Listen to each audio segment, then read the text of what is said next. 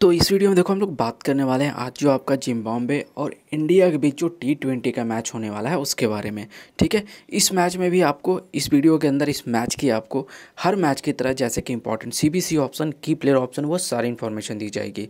जैसे कि लास्ट जो मैंने वीडियो बनाई थी, लंका प्रीमियर लीग की, जहाँ पर मैंने जो जो आपको important C B C option बताए थे, जैसे कि चाहे वो आपके उमर जाए हुए हैं, पी निशांका हुए हैं, के मैंडिस हुए हैं, ठीक है, वो सारे के सारे प्लेयर वन साइडेड रहे और काफ़ी अच्छे पॉइंट्स दिए आपको ग्रैंड लीग के अंदर, ठीक है? तो ग्रैंड लीग जिनको भी विन करना है वीडियो प्रोडिक्शन काफ़ी हेल्पफुल होगा आपके लिए। ठीक है, क्योंकि इसमें आपको important C B C option की प्लेयर ऑप्शन और सारी चीज़ें दी जाती हैं। देखो पिच बैटिंग के लिए अच्छा और आपको एक अच्छा स्कोर भी देखने को मिलेगा। इस पिच पर लास्ट भी यहाँ पर जो रन बने थे, वो अप्रोक्स 150 160 के अप्रोक्स ठीक है?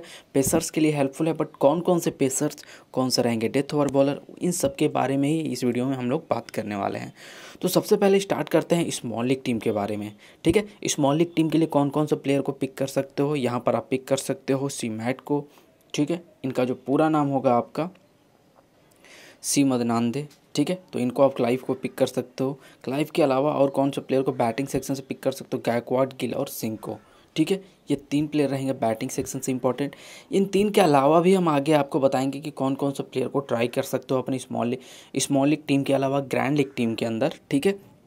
क्योंकि वो प्लेयर ही आपको हेल्प करेंगे ग्रैंड लीग विन करने में।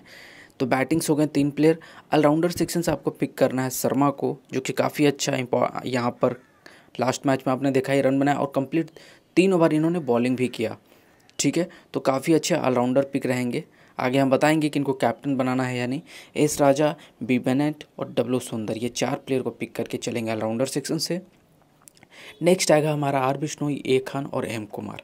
ये तो होगी बात प्लेयर सिलेक्शन की स्मॉल लीग टीम की। बट सबसे ज़्यादा ज़रूरी चीज़ है कि कौन कौन सा प्लेयर को आप ग्रैंड लीग टीम में कैप्टन बना सकते हो स्मॉल लीग टीम में कैप्टन बना सकते हो, या फिर किसको आप एक्स्ट्रा प्लेयर में पिक कर सकते हो। और देखो, यहाँ पर बैटिंग ऑर्डर मैं इसलिए भी नहीं बता रहा हूँ क्योंकि बैटिंग ऑर्डर आप यहाँ से देख सकते हो पास्ट लाइनअप के अंदर। पास्ट लाइनअप में कौन कौन से बैट्समैन ने किस नंबर पर बैटिंग की थी, वो आप यहाँ से देख सकते हो। ठीक है? तो चलते हैं आगे जो हमारा इंपॉर्टेंट सेक्शन रहेगा सीबीसी का।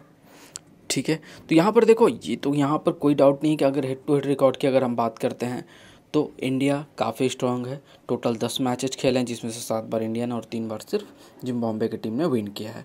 ठीक है? अगर यहाँ पर बात करते हैं जिम्बाब्वे की टीम से तो यहाँ पर हमने कौन कौन सा प्लेयर को पिक किया है? जिम्बाब्वे की टीम से मदनानदे राजा, रजा और बेनेट को पिक किया सिर्फ़ तीन प्लेयर को। यहाँ पर सीबीसी ऑप्शन मैंने बस रैंडम पिक करके रखा है तो इनको आप फाइनल अभी मत समझिएगा, क्योंकि वो टेलीग्राम पर हम आपको अपडेट करेंगे। फिर यहाँ पर हम आपको बताएँगे इंपॉर्टेंट सी ऑप्शन तो ये जो तीन प्लेयर हमने यहाँ पर पिक किए हैं, इसके अलावा भी कुछ प्लेयर इंपॉर्टेंट रह सकते हैं, जैसे कि बॉलिंग सेक्शन से बी मुजरबानी। सिलेक्शन परसेंटेज अच्छा है सिक्सटी परसेंट है, और ये इसलिए भी इंपॉर्टेंट है। हो सकता है आफ्टर लाइनअप मैं इस प्लेयर को भी अपनी टीम में पिक करूँ। डिपेंड करेगा कि ये टीम पहले बैटिंग कर रही है या बॉलिंग कर रही है। तो बी मुजरबानी डेथ ओवर एक अच्छे बॉलर हैं, ये चीज़ ध्यान रखिएगा। और डेथ ओवर बॉलर आपके लिए काफ़ी अच्छा ऑप्शन होता है कैप्टनसी या फिर वाइस कैप्टनसी के लिए, ठीक है? तो वी मुजरमानी इंपॉर्टेंट पिक रहेंगे, फ़िलहाल इनको हम यहाँ पर मार्क कर रहे हैं।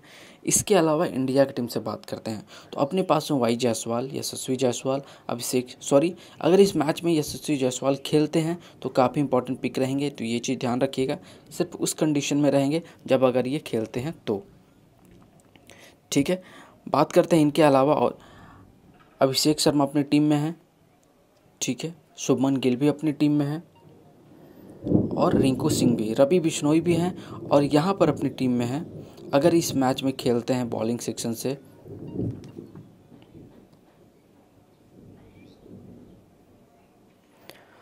एम कुमार ये तीन प्लेयर इंपॉर्टेंट रहेंगे। एम कुमार भी इंपॉर्टेंट है, एक खान भी है और आर बिश्नोई भी।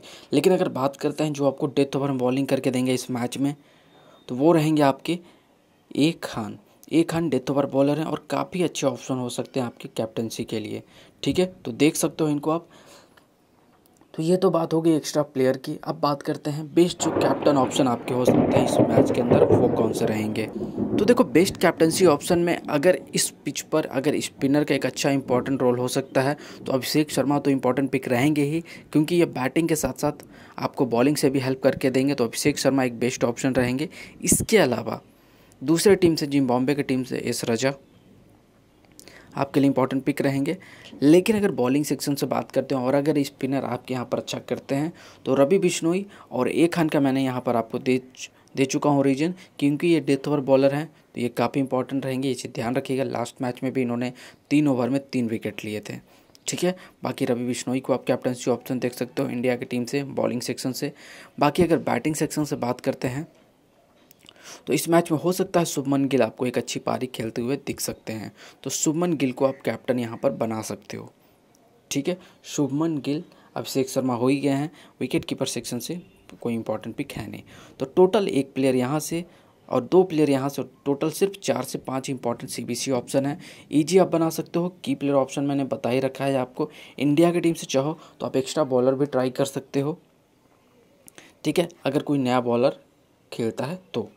ठीक है? बाकी मिलते हैं फाइनल टीम के लिए टेलीग्राम पे। लिंक डिस्क्रिप्शन में मिलेगा तो आप जाकर ज्वाइन कर लीजिए।